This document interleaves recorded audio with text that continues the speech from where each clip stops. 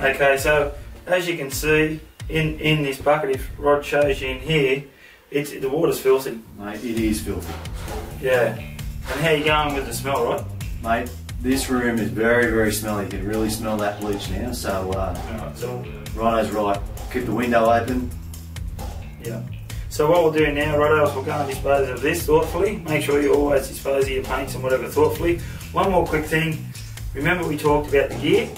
You can see I've got this roller tray very carefully because I don't want that bleach to go anywhere to be worse than paint. And I've got it held in two hands. You've got no real chance of that going anywhere. Just remember, there is a lot of these things we say, you'll work out why as we go through. So I'm going to go and get rid of this now, and we'll let this dry off. There, we want this room to air out. We don't want Rotto getting crook, and, uh, and we'll come back in and we'll paint some ceilings and look for any more defects. Alright guys, I'll go and get rid of it before it smells too much.